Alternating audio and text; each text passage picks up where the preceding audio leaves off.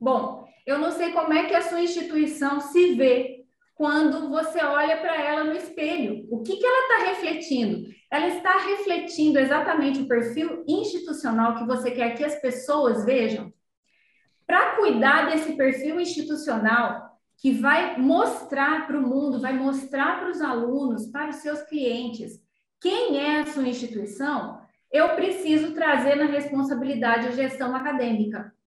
Porque não é possível que uma coisa se reflita se ela não tem uma base. E essa base do perfil institucional precisa ser registrada na documentação acadêmica. Então, a equipe da gestão acadêmica precisa cuidar de algumas coisas que falou ali no slide anterior que eu trouxe.